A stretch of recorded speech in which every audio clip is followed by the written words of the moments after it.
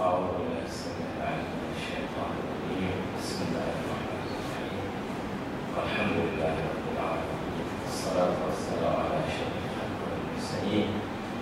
محمد وآل بيته الطيبين الطاهرين المعصومين المنتجبين الذين أنعم الله عنهم بالرزق وطهرهم تطهيرا. السلام عليكم أيها المؤمنون.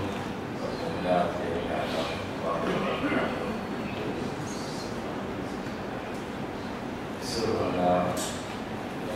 العناية نشارك إخوتنا في الجمعية هذه الفعالية المباركة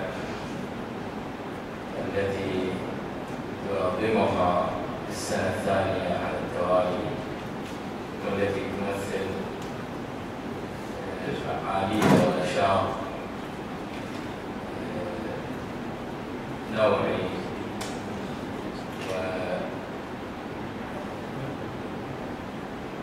وحركة جديدة بالواقع ممارسة فعاليات موسم الحج.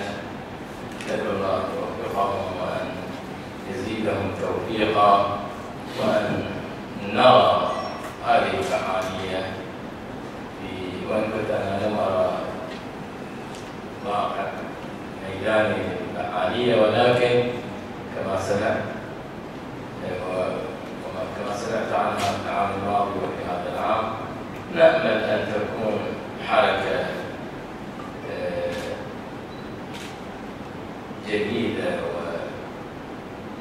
ومنطلق لتنشيط التفاعل بموسم الحج. قال تعالى وأذن في الناس بالحج يأتوك رجالا وعلى كل ضامر يأتين من كل فج عميق ليشهدوا منافع لهم وليذكروا الله في أيام معلومات. الحج موسم إسلامي كبير تظاهرة إسلامية كبيرة وواسعة ترتبط بالناس وأذن في الناس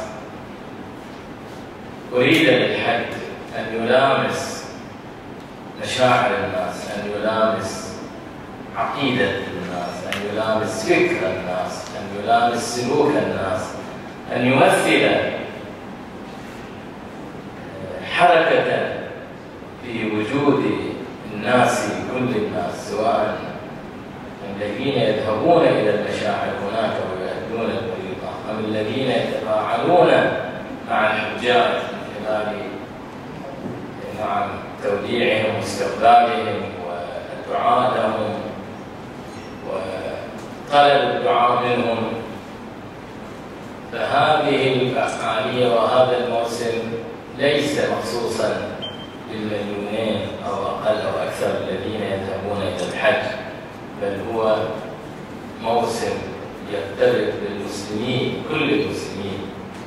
ينبغي أن يستفيدوا أن يستفيدوا منه وأن يعيش في وجودهم ويحضر في وجدانهم خلال هذه الأيام المعلومات.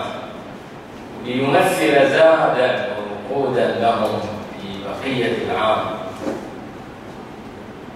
أريد لهذا الموسم أن يمثل مح... أريد لهذا الموسم أن يكون محطة من محطات التزود للمعرفة الإسلامية. محطة للتزود بالمعرفة الإسلامية القائمة على أساس التوحيد لله سبحانه وتعالى. هذا الموسم قام وأقيم وبني على أساس التوحيد. فالإنسان المسلم عندما يتفاعل بإخلاص مع هذه الفعالية ومع هذا الموسم يحس بالتوحيد ويدرك التوحيد بصورة متجسدة وبصورة حية بوجوده حيث يجد نفسه ويجد المسلمين جمعاء يتحركون باتجاه واحد خاضعين خاشعين لله سبحانه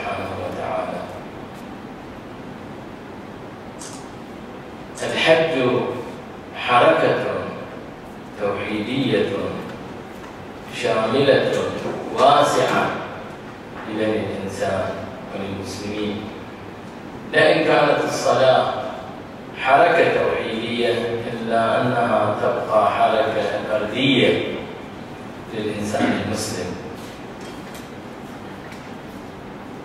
وأريد لها أن تتحرك بصورة جماعية من خلال صلاة الجماعة وصلاة الجمعة. ولكن تبقى على كل حال ممارسة فردية في أكثر صورها. ولكن الحج شاء الله أن يكون تظاهرة اجتماعية تظاهرة شعبية واسعة. التوحيد وتنادي به على رؤوس الأشهار وفي العالم كله. أريد لها أن تكون إعلانا رسميا واسعا للتوحيد وللوحدة بين المسلمين.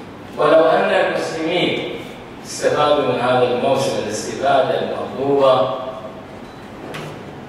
لكان لهذا لكان لهذا الموسم ثمرات عظيمة وكبيرة وواسعة على مختلف المستويات على المستوى العبادي على المستوى الاقتصادي على المستوى الاجتماعي على المستوى السياسي. الحج بكلمة مختصرة يعبر ليشهدوا منافع المنافع الشاملة الواسعة المنبسطة على مختلف جوانب ومساحات حركة الإنسان.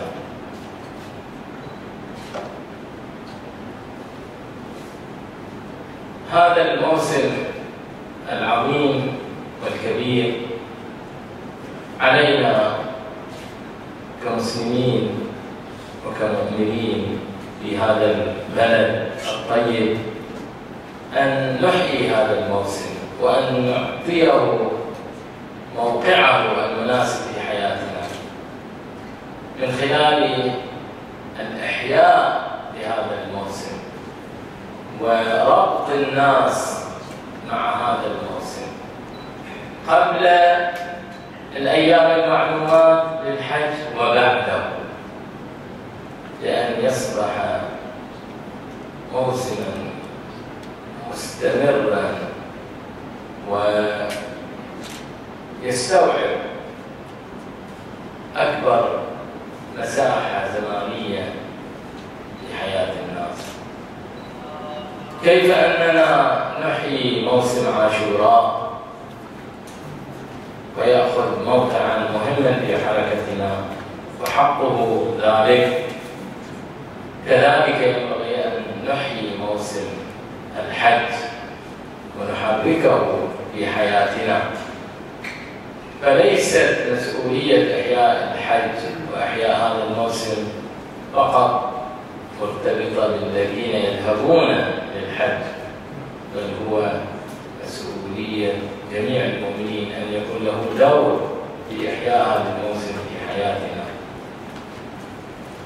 ولذلك أنا الحقيقة أدعو المؤمنين حتى الذين لم يذهبوا إلى الحج أن يشاركوا في البرامج التوعوية والإرشادية والتبليغية التي تنتشر في شهر القعدة الأيام الأولى من الحجة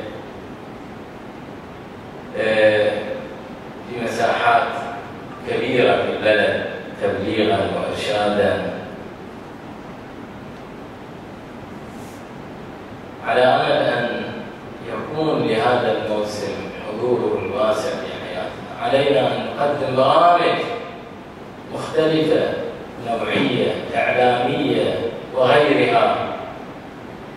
من أجل تحريك هذا الموسم المناسبة وفي هذا المقام نقدم الشكر الجزيل. و